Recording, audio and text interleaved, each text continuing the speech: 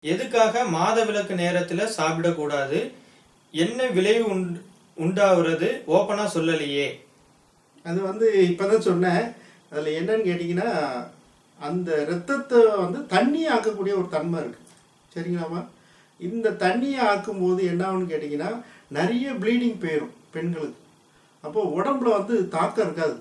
ரொம்ப பலகீனமாயிரும். ரொம்ப ப்ளீடிங் போயிடுச்சுன்னா என்னத்துக்கு ஆகும் உடம்பு?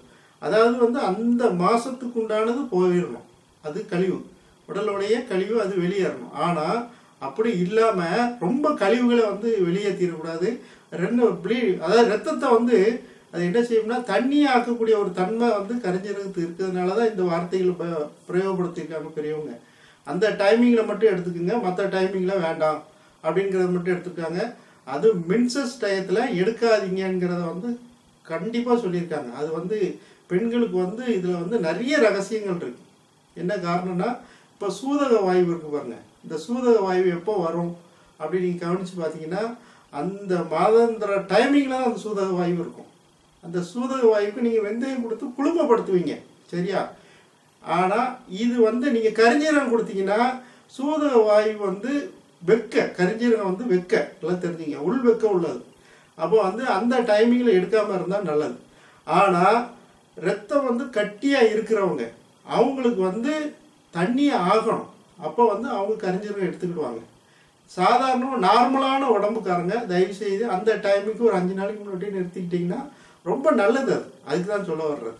ஃபுட்பால் லெஜெண்ட் அப்படிங்கிறவங்க வந்து இதை தினமும் சாப்பிட்டு வரலாமா இல்லையா அப்படின்னு கேட்டிருக்காங்க கண்டிப்பாக சாப்பிடலாம். சாப்பிட்டீங்க அதாவது அளவு கம்மி பண்ணி நீங்கள் எத்தனை வருஷம் சாப்பிட்டீங்கனாலும் சரி எத்தனை வருஷம் சாப்பிட்டீங்கனாலும் சரி உங்களுடைய உடம்பு காயகல்ப உடம்பாக மாறிக்கிட்டே வரும்.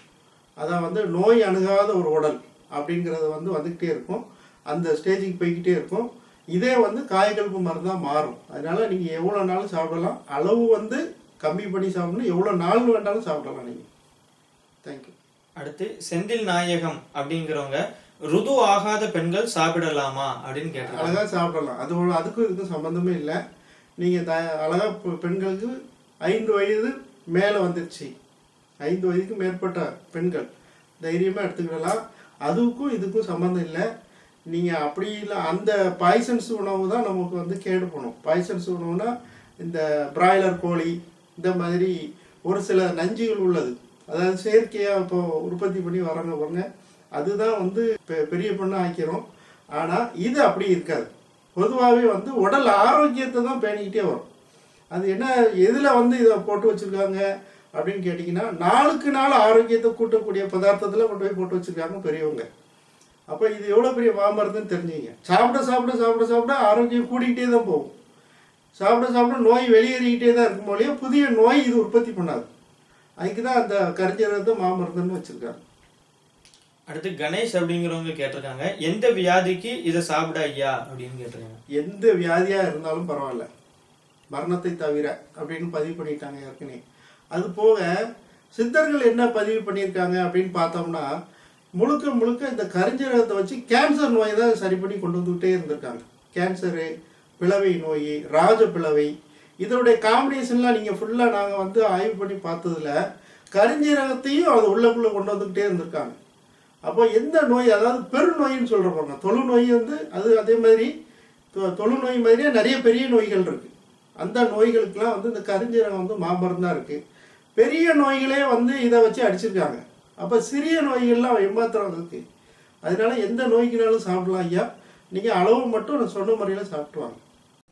யூடியூப்ல யாஹூ மெடிடேஷன் சென்டர் அப்படின்னு போட்டிங்கன்னா சேனலுக்குள்ள போகும். ஹோம்ல இருக்கும். வீடியோக்குள்ள போனீங்கன்னா அதுல ஃபுல்லா எல்லா வீடியோவுமே பதிவு பண்ணியிருப்போம்.